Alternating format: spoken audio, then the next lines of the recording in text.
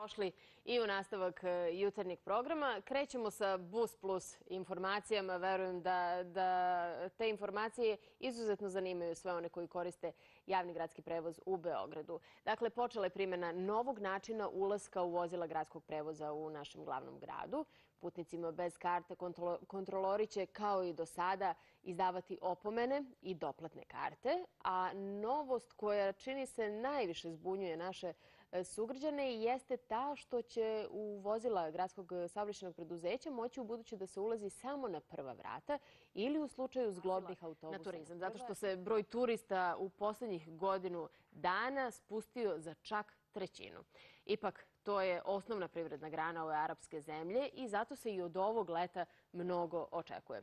Sharm el Sheikh je jedno od najpopularnijih letovališta u egipatskom delu pustinje.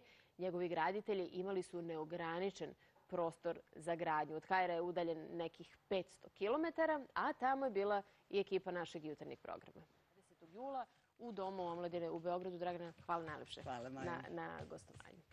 E, mi idemo na sportske vesti. Ovog vikenda su nas obradovali mladi veslači koji su postali svetski šampioni u svom uzrastu. Takođe tu su i njihovi vršnjaci kajakaši koji su najbolji u Evropi, atletičarka Mela Terzić takođe na svetskom prvenstvu za juniore i Janko Tipsarević koji je osvojio treći turnir u svojoj karijeri. O alkoholizmu i podatku da je više od 80% mlađih ljudi od 17 godina probalo neku vrstu alkoholnog pića smo često govorili u našim emisijama. I jedna od preventivnih mera trebalo je da bude zabrana prodaje alkoholima, alkohola maloletnim osobama.